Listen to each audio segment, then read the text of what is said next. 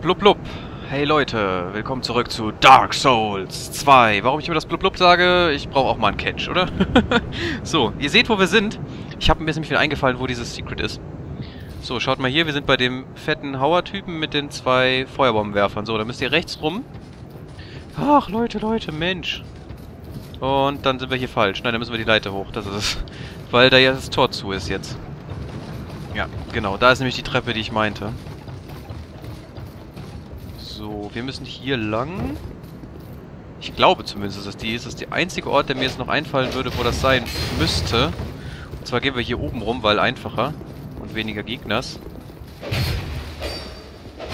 Warum hat er keinen Backstab gemacht? Hm. Ah!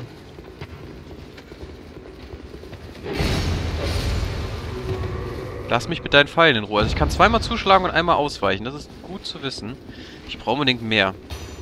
Mehr Konditiones. Oh Gott, das sind drei.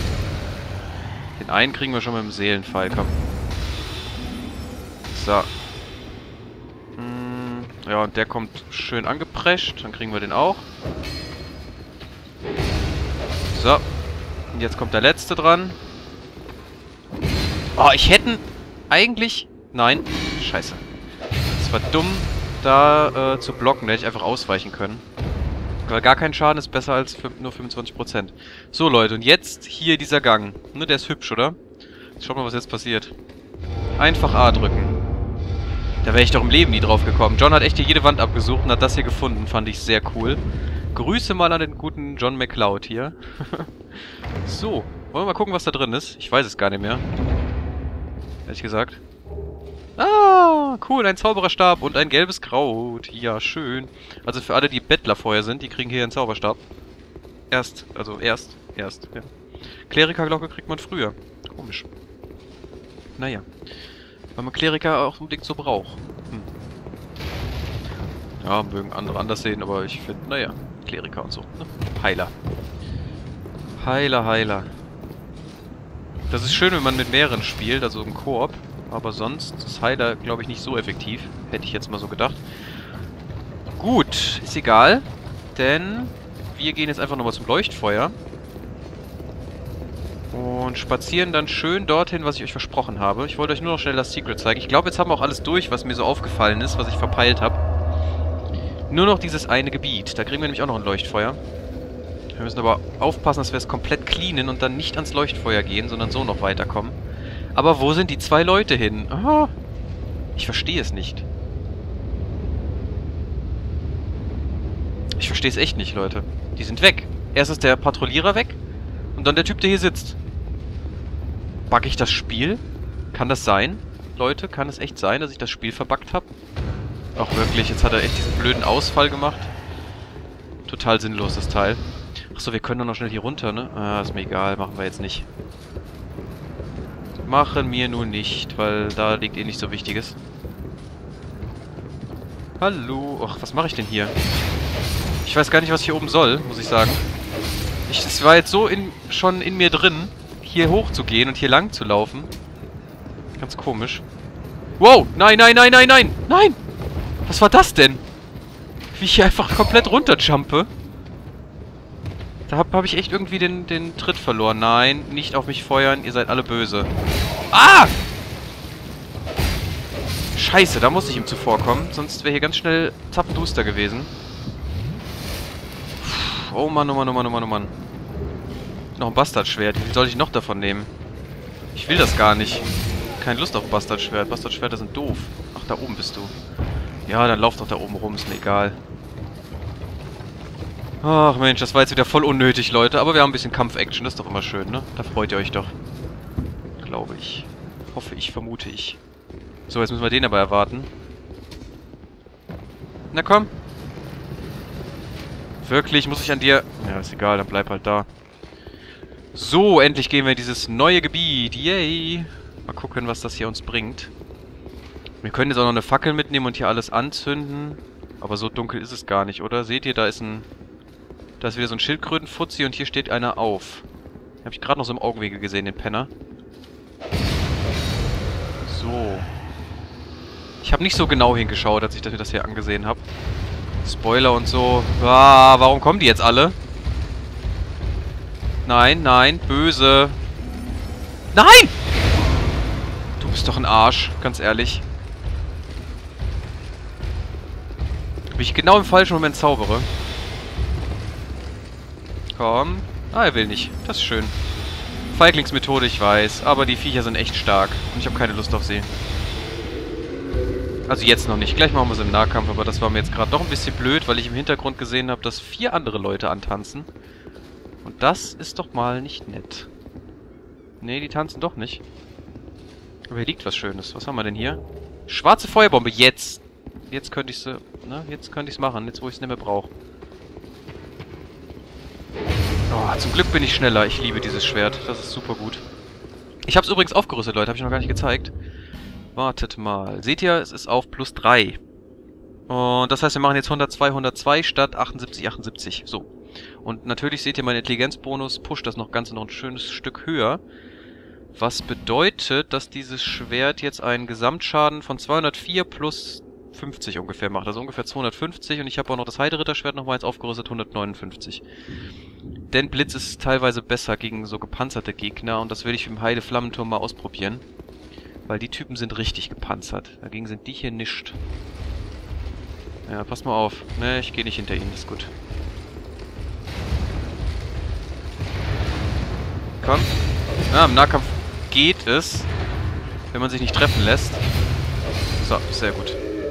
Und man gut Platz zum Ausweichen hat. Da seht ihr, da steht noch einer. Hatte ich mir doch schon fast gedacht. Hier gibt es noch eine Fackel. Wie viel haben wir denn jetzt schon? 35 Minuten nur. Irgendwie habe ich das Gefühl, das ist sau... Hä, das ist sau wenig. Ich habe irgendwo ein paar Fackeln übersehen, habe ich das Gefühl. Komisch. Pruga hatte hier über hatte hier 50 Minuten. Meine ich. Ja, abgehackt. So. Ich bin, spiele gerade ein bisschen leichtsinnig, oder? Nur ich das Gefühl. Ah, seht ihr das? Wir sind im Land der Turtles angekommen, Leute. Seht ihr? Da steht nämlich schon der nächste. Au, und da kackt mich so ein blöder Bogenschütze von der Seite an. Nein, wie seh doch bitte den Bogenschützen an. Nee, warum auch, warum auch die imminente Gefahr äh, anvisieren, wenn du den anderen Fuzzi anvisieren kannst, der nichts macht. So, jetzt sind wir den nämlich schon mal los. Au.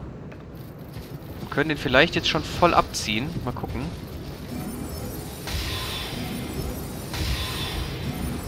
Ja, jetzt mache ich ungefähr so viel Schaden mit meinem großen Seelenpfeil, wie ich mit dem Schwert machen würde. Ja, und das nutzen wir jetzt für den auch noch aus. Oh, Glück gehabt. Ich dachte, ich falle jetzt hier irgendwo runter. Wir ziehen uns schön zurück. Nehmen den Schwert... Hallo? Kommst du? Ah, ich dachte schon. Du hast keine Lust mehr zum Spielen. Hm. Kann ich verstehen, weil als feiger Magier und so, ne? Haha. Egal. Gut. Das ist schon mal clean soweit hier draußen. Aber hier steht schon der nächste. Moin! Moin! Au. Nein, nein, ich will doch ausweichen, verdammt! Ich will hier nicht sterben. Puh, das war knapp. Das war knapp. Da hätte mich jetzt echt abmetzeln können einfach. Puh, wir gehen noch nicht aufs Dach. Ich habe die Leiter gesehen, Leute. Hm, nee, nee, das lassen wir. Da oben stehen zwei von den Typen. Ja, das weiß ich noch. Das habe ich mir gemerkt. Ich habe mich halt ein bisschen gespoilert dadurch. Ist ein bisschen schade, aber ich wollte halt auch mal sehen, was andere so hier treiben. Und wie ich dagegen aussehe. Und ich würde sagen, so schlecht mache ich mich jetzt auch nicht, oder? Dafür, dass ich eigentlich in Dark Souls nicht so der Meister bin. Was auch gar nicht sein möchte, ehrlich gesagt, weil... Ist mir zu anstrengend. Ist mir zu anstrengend, der Boner. Bastardschwert. Noch eins. Jetzt habe ich schon drei davon. Das ist toll. Das Schöne ist... Schaut mal, wir können die Tür einschlagen. Das ist doch cool. Das können übrigens... Das hätte der äh, fette Turtle-Typ auch gemacht. Ha, wenn wir nämlich einfach ins Haus gerannt wären. Hier wartet einer um die Ecke. Was seid ihr für Schweinehunde? Gut, dass ich mich mal gut umschaue. Ich weiß jetzt nicht mehr, ob hier noch mehr sind. Ich hoffe mal nicht. Da ist nichts, aber hier liegt was. Und hier, das ist übrigens gegenüber da, was wir noch nicht aufgesammelt haben, wo wir runterspringen müssen, wenn ihr euch erinnert. Gelbes Kraut und grüne Blüte, das ist schön. Das ist schön. Das ist schön. Ich hebe mir diese Kräuter aber gerne auf, vor allem die grünen Blüten, weil, äh, ja, bringt eh nichts. Ich habe den Ring, der ist viel cooler. Okay, ich dachte, hier wäre einer. Ich jetzt erwartet. Keine Mimik, yay! Jägerhut und Lederrüstung. Okay, hier kommt keiner. Können wir uns das ja mal angucken. Viel schlechter. Ein Lederhut mit breiter Krempe, traditionell von Bogenjägern verwendet. Die Jagdgöttin Evlana war gar keine Göttin, sondern vielmehr eine tapfere und äußerst begabte Bogenjägerin. Lange nach ihrem Tod machte die Legende eine Göttin aus ihr. Nach dem Tode, das, das gibt's häufig. Äh, ja, wo ist die Lederrüstung? Da. Aus weichem Leder gefertigte Rüstung, ein, ein gewöhnliches Ausrüstungsstück, wenige Verzierungen, leicht und mühelos einsetzbar. Ja, und hat auch nur B und die hat A auf unsere Anpassung. Also körperliche Abwehr, Attribut meine ich, aufs körperliche Abwehrattribut und das wird durch Anpassung erhöht. Das heißt, die Rüstung skaliert einfach schon, äh, also die, die wir tragen, skaliert einfach schon besser als die anderen. Die hat auch A auf körperliche Abwehr. Hm. Hm, hm, hm. Ich weiß es nicht. Aber die haben keine Stärkeanforderungen hier, hä? Komisch. Schilde haben das ja. Und alles. Ich dachte, die hätten auch so Anforderungen, naja. Ja gut, das skaliert alles nur C und zwar wirklich alles, was ich ein bisschen komisch finde. Sogar die Drang Lake Stulpen. Okay. Wir sind auch nur ganz knapp an der Belastungsgrenze. Das finde ich ein bisschen schade. Äh, wiegt das was? Das wiegt wirklich was. So, weg damit. Können wir jetzt das Schwert ausrüsten? Ich hätte gerne noch das Heideritter-Schwert, muss ich sagen. Ah, oh, knapp drüber. Naja, 73%, das ist schon einiges, aber wir dürfen 71 nicht erreichen. Das heißt 70,5 würde schon, würde schon gut sein. Und für so Informationen habe ich das Let's Play von anderen geguckt, muss ich sagen. Weil, ja, es ist nützlich. Das ne? bringt mir was. Das hätte ich so nie rausgefunden. Und ich will nicht im Forum stöbern. Noch nicht. Vielleicht später mal. Weil... Ah, seht ihr, hier ist das Leuchtfeuer. Ich glaube, wir können es auch entzünden, ohne dass wir uns dran setzen. Und das ist genauso, als wären wir dran gesessen. Außer, dass die Gegner nicht wieder da sind. Das wäre jetzt nämlich tödlich. Wenn jetzt hier die Gegner da sind, dann das, das schafft man nicht. Da kommen wir nicht mehr raus. Guckt mal hier. Oh, ist der nicht hübsch. Den kennen wir ja schon. Aber hier ein Riesenrot in Frieden. Hm. Ich bin immer noch interessiert daran, ob ein Riesenbaumsamen da was geändert hätte. Nicht an dem hier, aber an dem beim Verfolger. Könnt ihr mir gerne schreiben. Nur ja oder nein, denkt dran, ne? Nur wäre nützlich. Denn ich weiß jetzt leider, dass das ähm, versteinerte Stück eigentlich völlig Panne war. Das, was ich hier habe, dieses Ei. Äh, wartet, ich zeig's euch. Äh, dieses hier. Angenehme Konsistenz, genau. Denn das hier ist etwas, was man bei ähm, Dings abgeben kann. Bei der Krähe. Oh, das müssen wir auch noch einsetzen. Das ist auch ganz wichtig. Ich meine, steht ja drin, äh, es ist, erhöht die TP, die beim Flakon-Einsatz wiederhergestellt werden. Das ist sau wichtig, Leute. Das müssen wir noch einsetzen, aber erst beim Turm. Ja, weil... Gut und so, ne? Gut und so. Ich glaube, wir gehen hier hoch. Dürfte sicherer sein, als dort drinnen zu gehen. Seht ihr, da ist einer. Ich höre hier dann noch einen. Da steht nämlich auch noch einer. Okay. Das wird jetzt was, Leute. Ich glaube, ich werde sterben. Wie der nur auf der Stelle tapselt, der Pensor.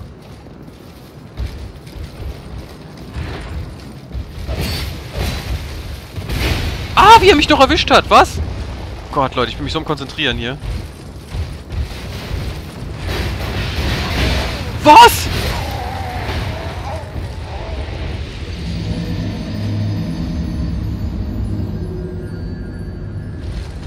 Was haben die denn bitte gemacht? Ich, Leute, ich war gerade echt sprachlos. W hä? Fuck. Sorry, aber fuck. Weil das kann ja wohl nicht sein, oder? Ja, jetzt machen wir Glaskanone, jetzt ist mir egal. Scheiß auf die Seelen. Scheiß auf die Seelen, mal ganz ehrlich. Ah! Was? Wieso kommt ihr denn so schnell schon wieder hier? Ihr blöden Penner. Lasst mich doch alle in Ruhe.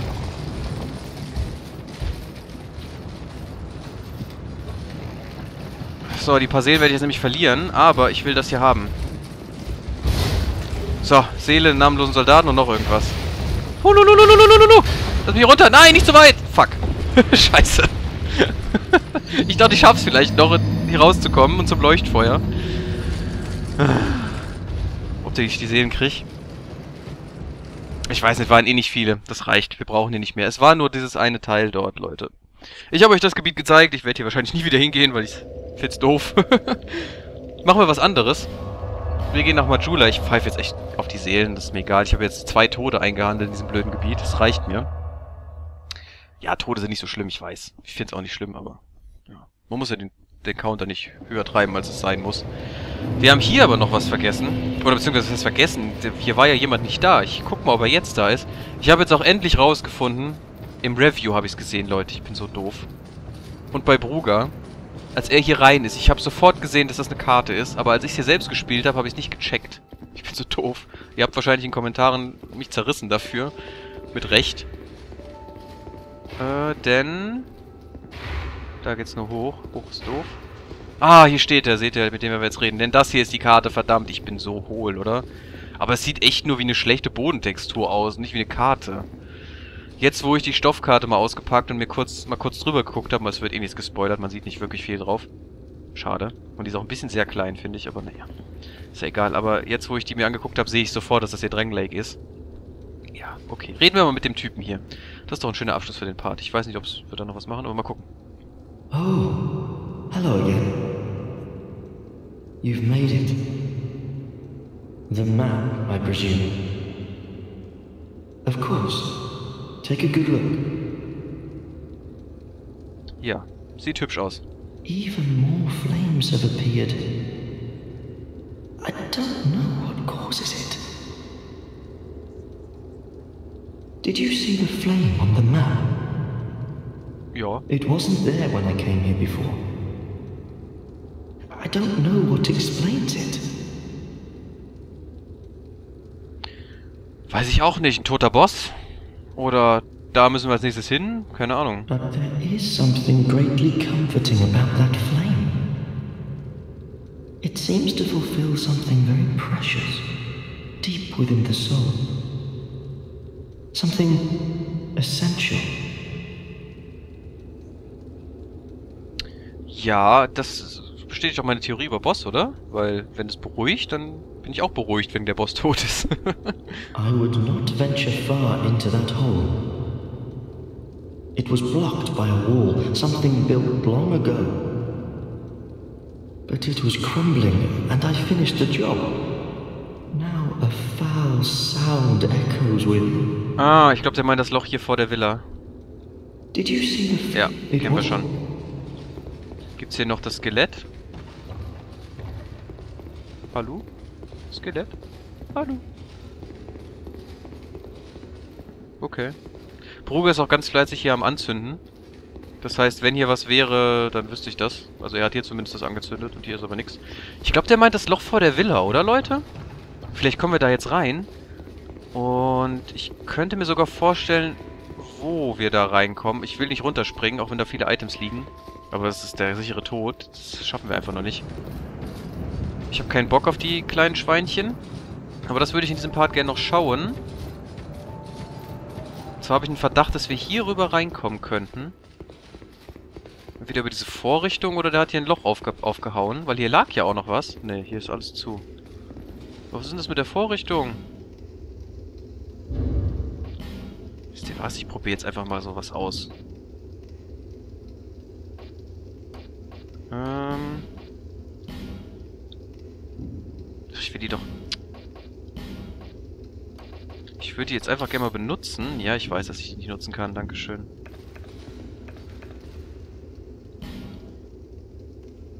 Hm. Nö. Bringt nichts. Keine Ahnung. War nur so ein Gedanke. Vielleicht hätte das ja was bringen können. Keine Plan. Aber schaut mal da, da, da liegt was. Das will ich haben. Das will ich haben. Das ist alles meins. Meins. Und dieses Ding macht keinen Sinn. Es ist völlig sinnlos. Habe ich aber beim ersten Mal, glaube ich, schon gesagt, oder? Es ist so sinnlos. So sinnlos. Hm. Außer man macht die Wand dahinter weg. Aber sonst ist ja kein Durchgang. Selbst wenn das Gitter weg wäre. Und ich will zu dem Shiny und... Wir werden jetzt auf jeden Fall zu Heides Flammenturm gehen, aber ich werde porten. Ja, der Weg ist mir jetzt zu, zu blöd. ja. Da ist auch nichts auf dem Weg. Ja, ist mir egal. Dann wollen wir mal gucken im nächsten Part, wie das mit Heides Flammenturm weitergeht, weil da müssen wir nun mal lang. Ich könnte eigentlich, ich habe eh keine Seelen. Ich könnte es mal versuchen, oder? Gott, nee, das ist viel zu tief, Leute. Der Fallschaden ist so riesig. Der ist so riesig gemacht worden hier. Das ist übertrieben. Nee, ich will mir nicht noch einen Tod hier einhandeln. Das der Death Counter ist... Ich hab mich schon im Nacken. Wir so... Komm, Gary, nochmal sterben. ja, ja, ja, ja, ja. Ich kann mir das schon denken. okay, Leute, dann verabschiede ich mich für diesen Part. Wir haben nicht so viel Neues gesehen. Ein bisschen schon. Das fand ich schon ganz gut. Auch ein interessantes Gebiet gewesen. Und wir haben jetzt das dritte Leuchtfeuer in dem Wald der letzten Riesen und so. Auf alle Fälle würde ich mich freuen, wenn ihr mir was Schönes da lasst. Schreibt was Tolles, äh, lasst eine Bewertung da. Und dann sehen wir uns beim nächsten Mal hoffentlich wieder, wenn es wieder heißt Let's Play Dark Souls 2. Bis dann, Leute. Ciao.